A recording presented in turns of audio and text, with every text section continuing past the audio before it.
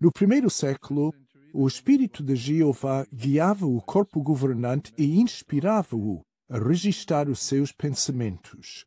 Hoje, o corpo governante não é inspirado, mas ainda é guiado por Jeová.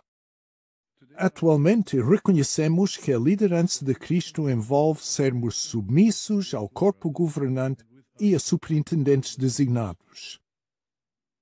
Nós não seguimos homens. Os líderes humanos têm filhado. Muitos não têm amor suficiente por Deus nem pelas pessoas. Em vez disso, procuram riqueza, fama e poder.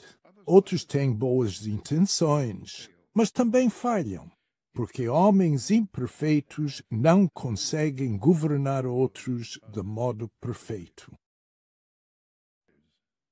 Seremos amados por Jeová se seguirmos o líder que ele designou. Se fizermos isso, poderemos ter o privilégio de segui-lo por toda a eternidade.